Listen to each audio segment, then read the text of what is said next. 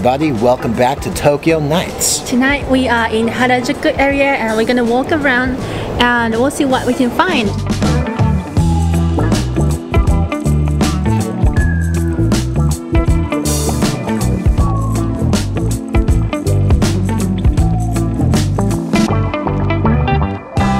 So we just started checking out this new building, a shopping area next to Harajuku Station. And they have some really nice shops there, right Akina? Yeah, it had some nice balcony there looking down the station. Yeah, the atmosphere was very nice and chilling and relaxing, so it was good. It will be probably a good place to have a break in the future. The other thing is they have a really awesome Uniqlo shop there, which I haven't really shopped at Uniqlo in a long time, but they actually have some pretty nice t-shirt designs. I would say that shop decor itself was very cool. Like they're playing some Kimetsu no Yaiba or Demon Slayer movie teaser, or like Yeah. uh, Marvel's Avengers kind of tr- uh, teasers too. Yeah, I like the Batman there too. It's awesome. Yeah, by the way, that thing was supposed to be the real one. Yeah, they had a mask there. It was actually in the movie, right? Yeah, so that mask, Christian Bale was in the mask. That's crazy. yeah, so with that said, I think we should probably check out Takeshita Street now. What do you think, Akina? Let's go!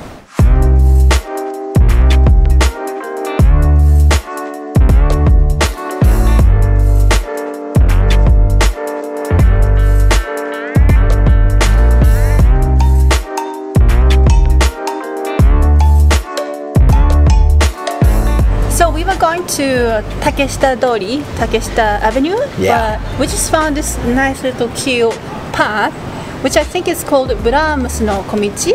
Okay.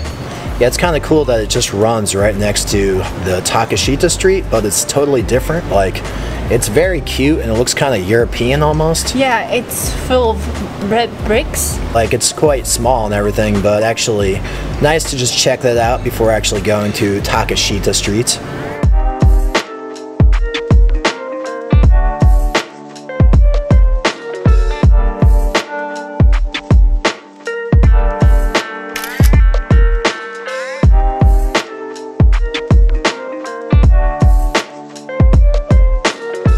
Well, we just started walking down Takeshita Street, but Akina had to get herself a crate before the shop closed. Just had to get it.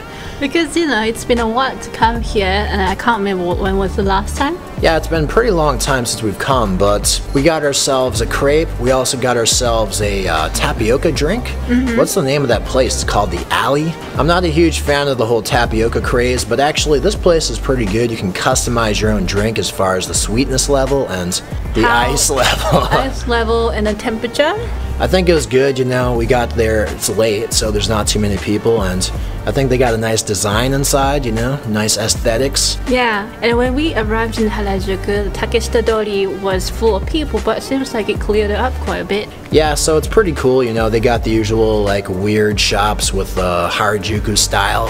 I think the place is really geared toward high school girls. And of course, tourists. It's a cool place, and it's good to see it toward the end of the day when the number of people just dwindles. Yeah, and then we don't have to be packed with lots of people and then trying to find a way to go through, right? Like, come to think of it, I probably haven't really been to Harajuku in the night, so it was kind of nice, um, different atmosphere. So I think we just went to some of the main places in Harajuku, so I guess we can just walk around and uh, maybe we can go to beer Tap Gotta go to Baird, yeah. I think that's one of the places we went to, one of our first dates. So we're gonna get ourselves some nice craft beer in the Bairds.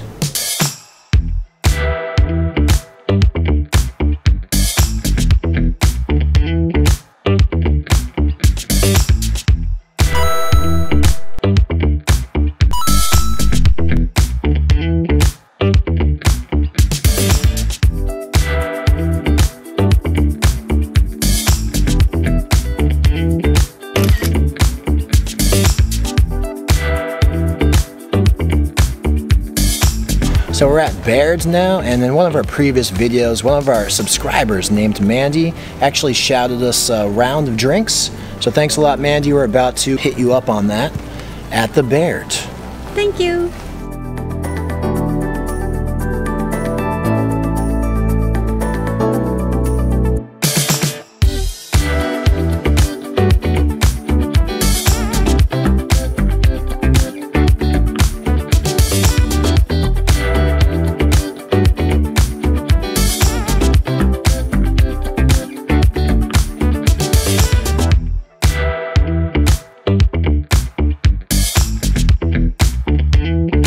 What'd you think about that beer at Baird, Akina? I do have some emotional connection to that beer place, you know, like that was our second date. But with that said, I think we're actually um, getting a little hungry for some food. So there's actually a ramen I used to send to a lot of people. I was sending this ramen, which is called, uh, what's the name of it? San- Santouka, Santouka? Written as like a mountain head fire. So Santouka ramen, I think it's a quite a good one as an instant ramen. It's very good. But I haven't had the real one. I'm sure the real one from the restaurant's actually a lot better. They do actually have it in Shibuya, so I think we're gonna head on over there quick, you know, before we can miss our last train, and just get us a little ramen.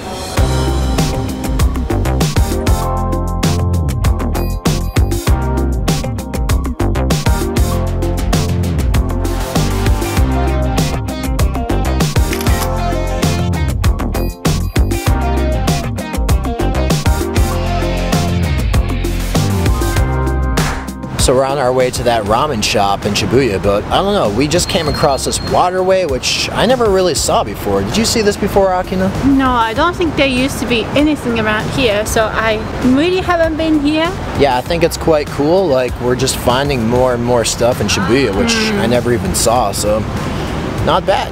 Not bad.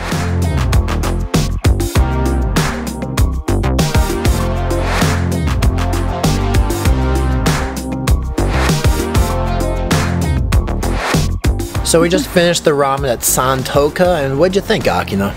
Um, well, I like the ramen, but I think that instant noodle is really good with the broth.